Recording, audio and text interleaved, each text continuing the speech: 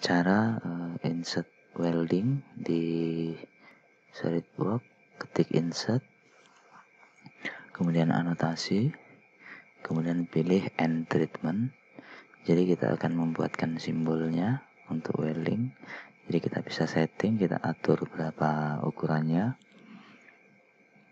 Ya kemudian klik pada sudut edge nya ya kemudian muncul uh, simbol weldingnya tampak ininya. Kemudian uh, untuk intermediate kita menggunakan caterpillar anotasi pilih uh, caterpillar kemudian klik pada edges-nya atau garisnya.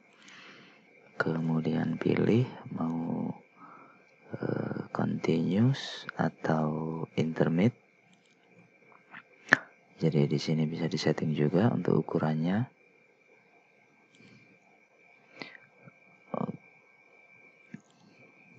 Ya, bisa disetting. Kemudian oke. Okay. Setelah itu kita masukkan uh, simbol weldingnya.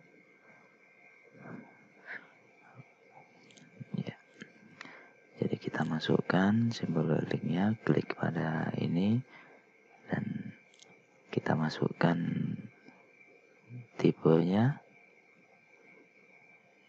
klik dua kali kemudian pilih setting tipe weldingnya ya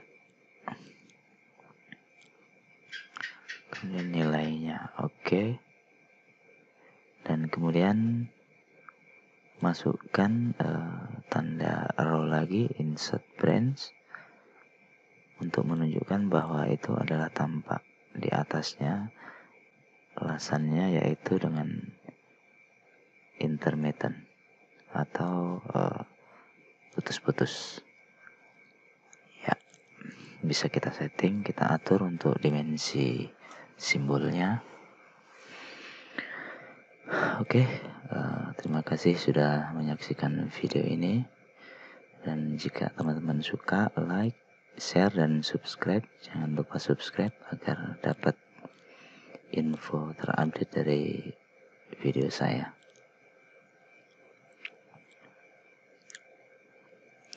terima kasih uh, sudah menyaksikan uh, video ini